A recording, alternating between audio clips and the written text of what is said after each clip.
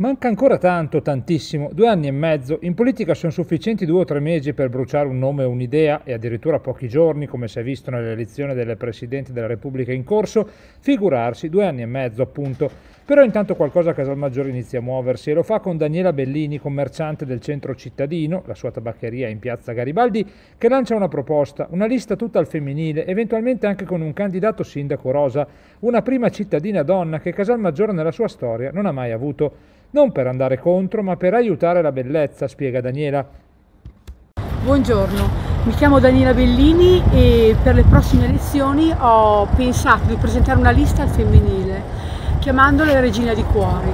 Regina di Cuori perché noi donne siamo regine di cuori, abbiamo una sensibilità che, che gli uomini, secondo me, non hanno.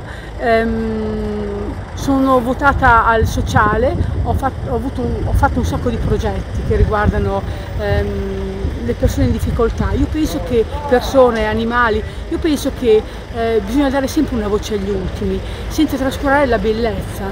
Ehm, io sono convinta che ogni persona può, può avere tanto da dare, quindi vorrei dare voce agli ultimi, alle persone che non vengono mai ascoltate alle persone anziane, improntato alla solidarietà e poi tornando alla bellezza, siccome io mi ritengo un esteta, dare anche, eh, dare anche una bellezza a livello esteriore a questo paese, non c'è più niente. Eh, avere un po' d'orgoglio, eh, che quando qualcuno viene qui dica ma Dio che bella Casalmaggiore, ehm, è proprio un bel paese, invece adesso io lo dico con parole semplici, adesso è triste e quando c'è bruttura anche l'animo è molto triste.